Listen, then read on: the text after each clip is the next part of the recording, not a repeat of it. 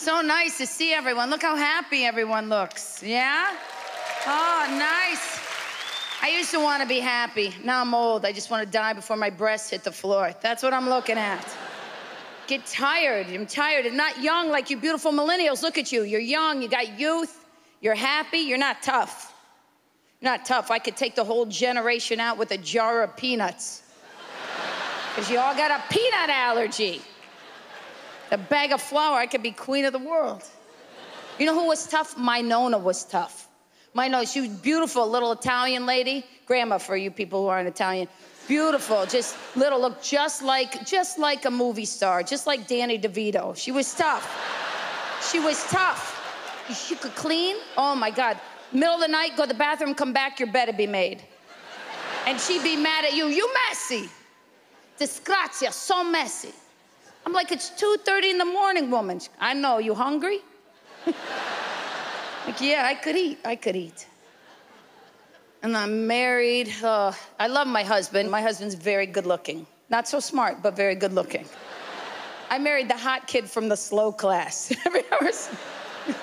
Take your time, some of you are him. You know. It's okay, I don't need him to do much for me, right? Just, you know, be loyal and guard the perimeter. That's really all I'm looking for out of life. It's not that he's stu- listen, I knew what I was getting into. He knows stuff, he reads the internet, but it's always ridiculous stuff. Like he came home and said to me, he goes, We need a safe word. A safe word. You know about this stuff?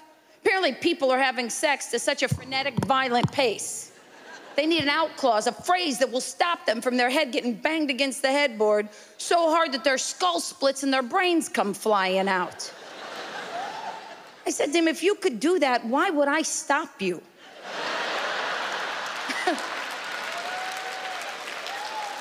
We're all gonna die.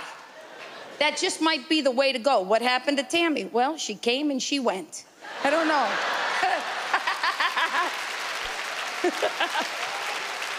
I'm so embarrassed to even tell a sex joke. I'm not good at it. Like you young millennials, it's all sex to you. Threesomes, threesomes, threesomes. Get out of here.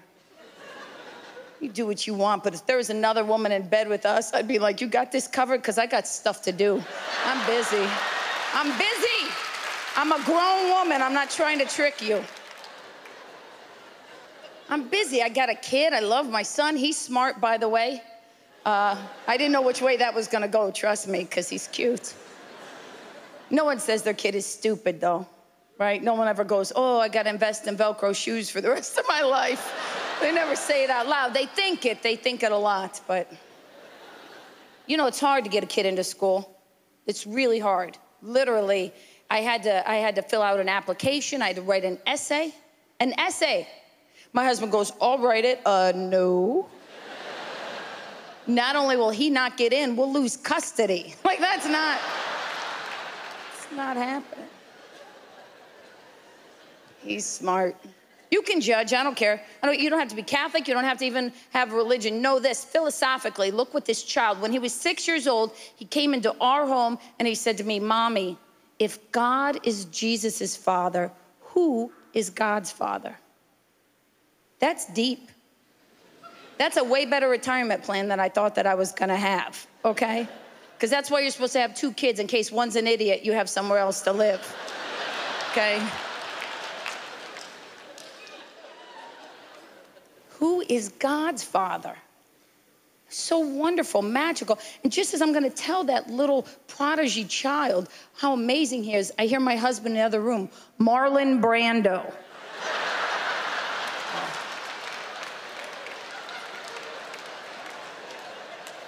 I got a safe word for you. Get the hell off of me. How about that? I shouldn't even say that because we can never have sex. You know that, right? When you have a child in your home, you can't have sex anymore. Listen to me, millennials. That's what happens. You no longer, you cannot, they will just show up.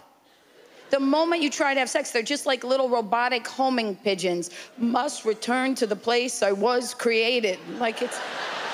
It's the closest thing to modern day sorcery I've ever seen in my entire life. Two cats jump up on the bed. The dog is watching us. We didn't even have a dog, so that's really weird. It's so weird. I don't know. Listen, everything I learned is about you got to be tough. Don't be afraid. I learned that when I was four years old. We went to see Jaws as a family. That explains a lot, okay? Just so you know, no one in my family has ever been to therapy unless it was court ordered, okay? So, uh, Jaws. Remember Jaws? What happens that first scene of Jaws? You remember? The girl jumps in the water. She's naked, She gets eaten by the shark. Then this. Remember just that hand? That severed hand on the beach? The most powerful scene in the history of cinema, that hand. Makes you feel some kind of way right now, remember? I'd never seen anything like that. I was four. Couldn't breathe. I was in feet pajamas, for God's sake. I was, and my mother, this is when I learned who I was, because my mother reached down through that fear and she grabbed me and she held me and she said, That's what happens when you swim naked with boys. I'm Tammy Pescatelli. Thank you so much. Thank you. God bless you. Thank you.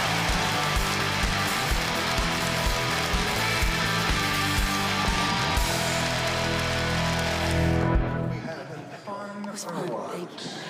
Thank you. Thank you. Love you, Sebastian.